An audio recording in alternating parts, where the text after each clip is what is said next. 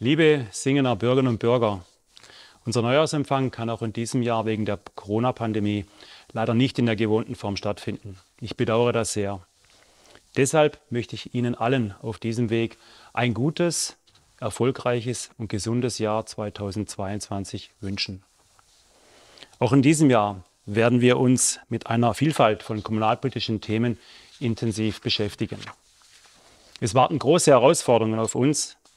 Nachhaltigkeit und Klimaneutralität bis 2035, Wohnraum für alle, Wärmeplanung für die Gesamtstadt, Gesundheitswesen, Zukunft des Klinikverbundes, erneuerbare Energien auf Singener Gemarkungen, Breitbandausbau, mehrheitliche Übernahme des Strom- und Gasnetzes von der TÜGA, bedarfsgerechte Kultur, Sport- und Freizeitangebote für Jung und Alt, Senioren-, Jugend- und Quartiersarbeit, Bildung, Neubau der Scheffelhalle, dreiteilige Sporthalle, Sanierung und Erweiterung des Hallenbades, Neubau der Feuerwehr, Sanierungsgebiet Scheffelareal, Nordstadtversorger, Entwicklung unserer Ortsteile und vieles, vieles mehr.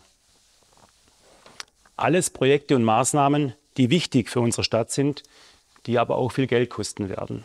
Gerade hierbei wird sich zeigen, wie mutig wir sind, die richtigen Schritte in die Zukunft zu wagen. Für viele dieser Projekte stellen wir im Haushaltsplan 2022 die Weichen. Wir haben in den vergangenen Jahren mit einer guten und wohlüberlegten Finanzpolitik die Voraussetzungen geschaffen, dass wir nach heutigem Stand in den kommenden Jahren keine neuen Schulden machen müssen und sogar Kredite in einer Größenordnung von 10 Millionen Euro zurückgeben können. Dies ist allerdings nur möglich, weil wir eine vielfältige und erfolgreiche Wirtschaft in Singen haben. Herzlichen Dank dafür. Ein wichtiger Punkt, der uns alle direkt betreffen wird, ist die Veränderung der Mobilität. Die ersten Maßnahmen haben wir umgesetzt. Unser Fahrradwegenetz wird seit Jahren kontinuierlich ausgebaut. Im Frühjahr werden wir die vom Gemeinderat beschlossenen zwei neuen Fahrradstraßen umsetzen. Für unseren Stadtbus haben wir erfolgreich das 365 Euro Jahresticket eingeführt und auch das 1-Euro-Ticket gibt es in Singen. Mit den Arbeiten für die neue Ausschreibung für den Stadtbus ab 2026 haben wir begonnen. Ziel ist es, die Taktzeiten weiter zu verdichten, auch in Richtung unserer Ortsteile.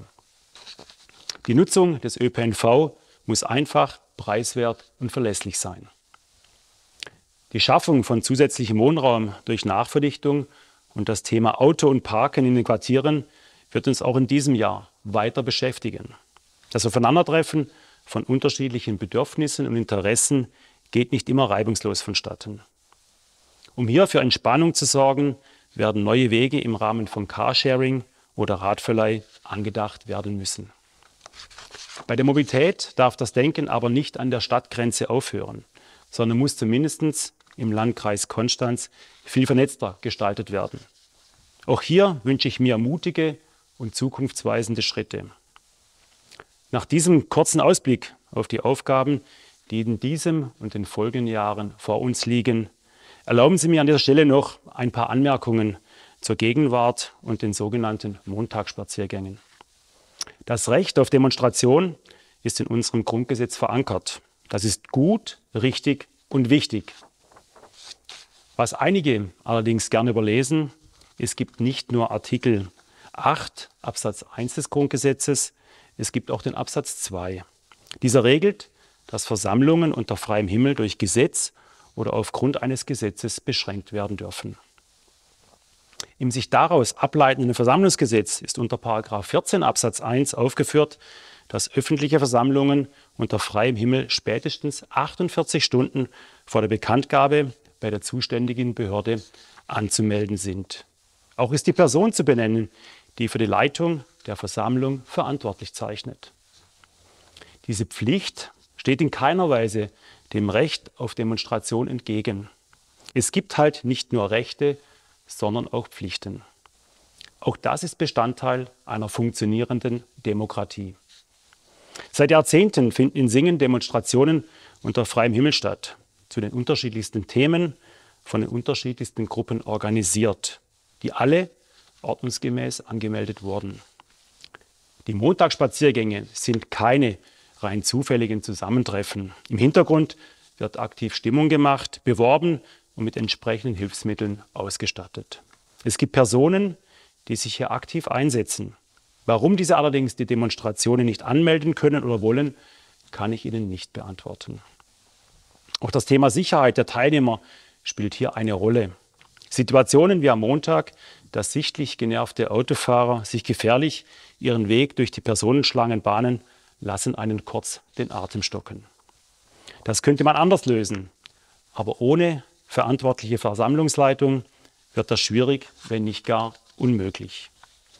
Für wen arbeiten wir? Für wen treffen wir Entscheidungen im Gemeinderat?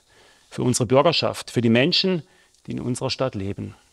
Unsere Bürgerschaft ist so vielschichtig und unterschiedlich, wie man es vielleicht nur aus größeren Städten kennt.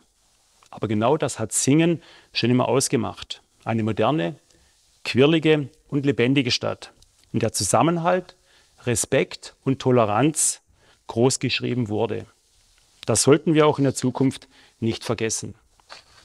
Das Jahr 2021 war wahrlich für uns alle kein einfaches Jahr.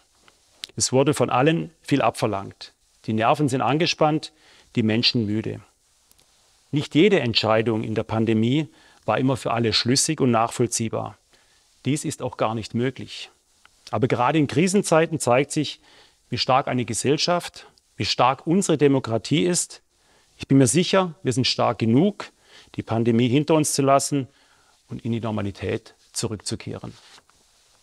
Abschließend möchte ich mich bei allen Mitarbeitern und Mitarbeitern unserer Stadtverwaltung, stellvertretend bei meiner Kollegin Ute Seifried, für die gute Zusammenarbeit zum Wohle unserer Bürgerschaft danken.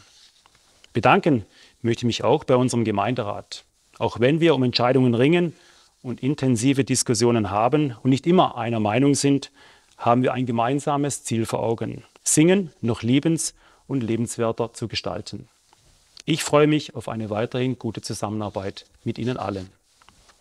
Die Aufgaben und Herausforderungen werden 2022 nicht kleiner werden. Lassen Sie uns dies gemeinsam angehen für eine erfolgreiche und starke Stadt singen. Herzlichen Dank.